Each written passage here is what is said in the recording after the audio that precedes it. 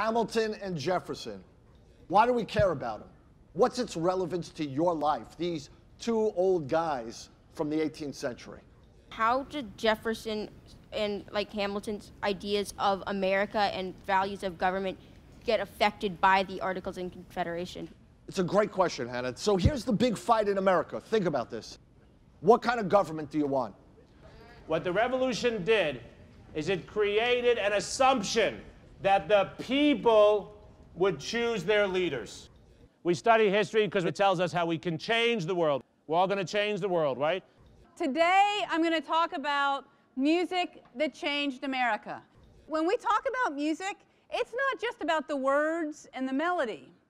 It's about what it makes us do and how it makes us feel and what it makes us think. So we can take the ideals of our founding fathers, but we got to apply them right now.